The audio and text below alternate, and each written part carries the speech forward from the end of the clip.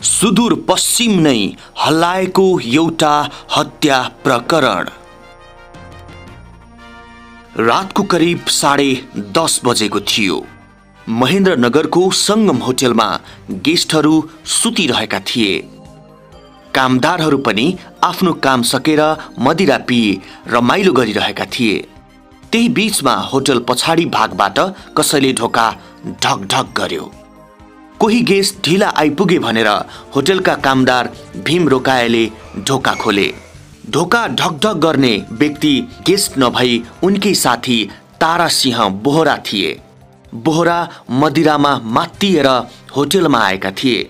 रोकाएर उनका साथीहरू पनि मदिरा खाएर बसेकाले सबैले सँगै बसेर मदिरा पनि पिए।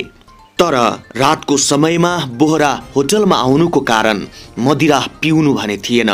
उनी रगत नै पिउने किसिमको रिस बोकेर उक्त होटेलमा आइपुगेका थिए। उनको मोबाइलको मेमोरी कार्ड रोकायासँग थियो। मेमोरी कार्डभित्र उनका प्रेमिकाको फोटाहरू थिए तर पटक पटक माग्दा उनले त्यो मेमोरी कार्ड भने पाएका थिएनन्। त्यसैको रिस फेर्न उनी त्यही होटेलमा आएका थिए। केही समय मदिरा पिएपछि बोहराले सोही मेमोरी कार्डको प्रसङ्ग निकाले तर रोकाएले हराइसकेको भनेर उनलाई जवाफ दिए।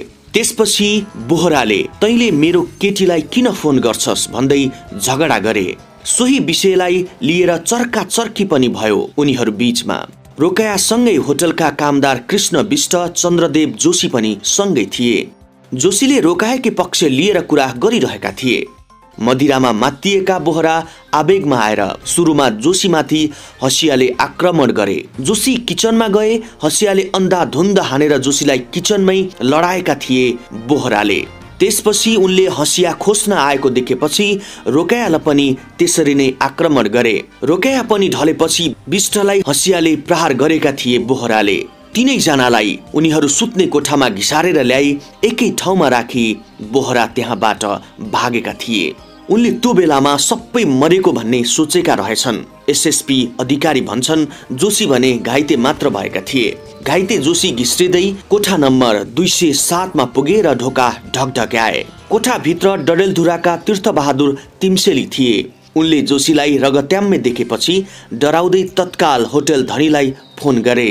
होटल धनीले राति बाह्र बजे प्रहरीलाई खबर गरेका थिए। भोलिपल्ट बिहानै होटलभित्र दुई मजदुरको विभत्स हत्याको खबर महेन्द्रनगर मात्र होइन सिङ्गो सुदूर पश्चिममै फैलियो। हत्याको शैली यति विभत्स थियो कि त्यो कसैले हेर्न सक्ने स्थितिमा थिएन।